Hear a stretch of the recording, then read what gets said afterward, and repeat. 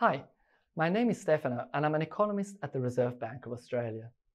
In this video, I'll provide a brief summary of current economic conditions as published in our May Statement on Monetary Policy. Let's start by looking at the global backdrop. Globally, inflation remains high. In thinking about prices, we can look at headline inflation, the overall change in prices, or core inflation, which excludes more volatile energy and food prices.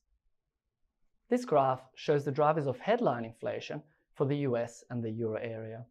You can see that headline inflation has declined from its peaks.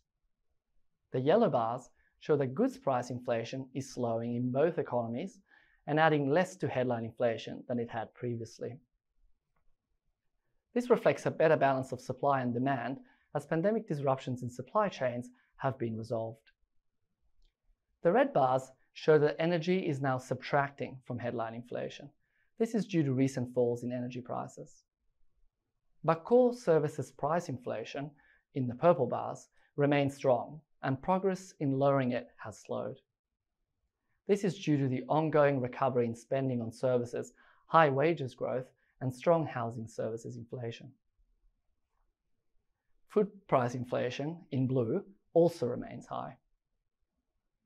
Alongside all of this, economic growth in advanced economies has slowed in response to higher interest rates, though not as much as had been expected. Still, global growth is expected to be well below its pre-pandemic average in the next two years. Labour markets are still very tight, with unemployment rates at historical lows. Let's now look at what is happening with monetary policy in advanced economies. In this graph, we can see how policy rates have evolved since 2019. The solid lines represent changes in policy rates. The dotted lines show market participants' expectations for future rate movements. The solid lines show that most central banks have increased their policy rates further to slow the pace of inflation. They're trying to avoid the risk that expectations of higher prices become embedded in consumer and business behavior. Most of these central banks have signaled that policy rates may need to remain at these higher levels for some time to ensure inflation returns to target. The dotted lines show that markets think policy rates are at or near their peak in most advanced economies, with rates expected to decline in some economies in the second half of the year. Turning now to the domestic economy. Growth in the Australian economy has slowed over recent quarters. This is as the recovery from pandemic-related restrictions had mostly run its course by the second half of 2022. In the December quarter, the final observation on the chart, growth slowed to 0.5%. Different bars show the contributions from the different categories of spending in the economy. Consumption's contribution, represented by the yellow bars, slowed over 2022 and was weak in the December quarter. The higher cost of living and interest rates weighed on real household disposable incomes, and declines in housing prices over the past year reduced household wealth. Growth in Australian economic activity is expected to have slowed in the March quarter and is forecast to remain subdued to 2023. This weaker near-term outlook compared to a few months ago reflects the softness in recent activity data, including related to consumption and private investment. GDP per capita, or per person, is expected to decline over the year. The labour market remains tight. As you can see in the blue line, the unemployment rate continues to be near its lowest level in almost 50 years at 3.5%. And in purple, you can see that the underemployment rate which captures employed persons who want to work more hours, is low relative to recent history. The demand for workers remains high, though it has eased, and reports of firms having difficulty finding suitable labour have become less prevalent. Some of this demand has been met by a pickup in labour supply as there has been strong growth in net arrivals from overseas. It's something I will come back to towards the end of the video. Looking forward, the unemployment rate is expected to gradually increase due to subdued economic growth over coming years, but it is expected to remain below pre-pandemic levels. Let's look now at wages. Wages growth was solid in the December quarter, with the wage price index, increasing by 0.8% in the quarter and 3.3% in year-ended terms. This was the highest rate of year-ended wages growth since late 2012 and reflected tightness in the labour market and high inflation outcomes. This chart shows the split of wages growth in the private and public sectors. Over the year to December 2022, wages in the private sector grew more quickly than those in the public sector. This tells us it is private sector wages that have driven overall wages growth.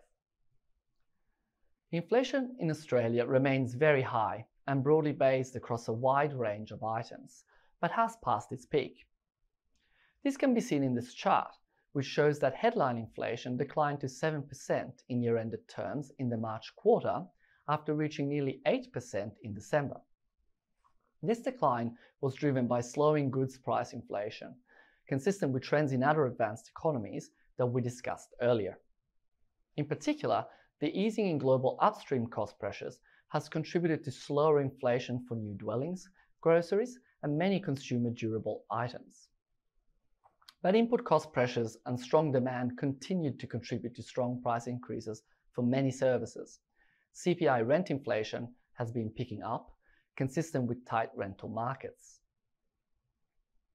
Measures of underlying inflation also eased in the March quarter, but remain high. Recall that these measures remove the effect of irregular or temporary price changes. One measure of this is trim mean inflation.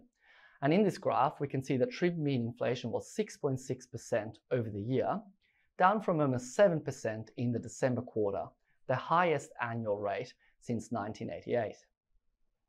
Looking forward, inflation is expected to return to the bank's 2 to 3% target range, but it will take some time. The bank expects underlying inflation to decline over coming years to be around the top of the inflation target range by mid 2025. Let's now turn to monetary policy. The bank's board has stated that its priority is to return inflation to the 2 to 3% target range. High inflation makes life difficult for people and damages the functioning of the economy because it reduces purchasing power and increases uncertainty. And if high inflation were to become entrenched in people's expectations, it will be very costly to reduce later.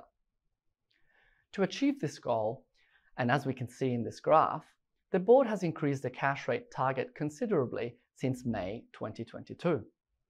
Some further tightening of monetary policy may be required to ensure that inflation returns to target in a reasonable timeframe, but that will depend upon how the economy and inflation evolve. In determining future interest rate movements, the board will continue to pay close attention to developments in the global economy, trends in household spending, and the outlook for inflation and the labour market. So that concludes our regular updates.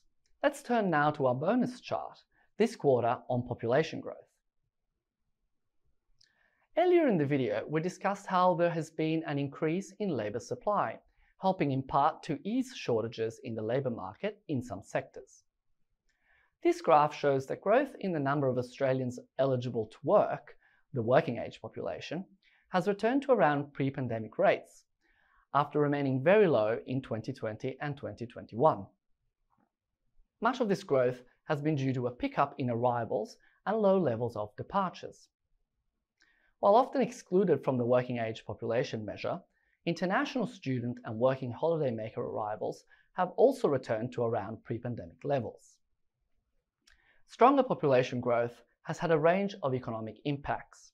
For instance, it has added to demand for rental properties, contributing to a stronger outlook for rental price inflation. Thanks for watching this update. You can find a link to the full May statement on monetary policy below.